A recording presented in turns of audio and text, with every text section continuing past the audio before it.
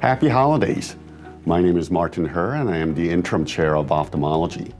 I hope you and your family have a wonderful and healthy holiday season. The USC Roski Eye Institute provides exceptional eye care, trains the future leaders in ophthalmology, and develops novel therapies in the fight against blindness. With generous donor support, we've made significant advances in the treatment and cure of various diseases affecting the eye.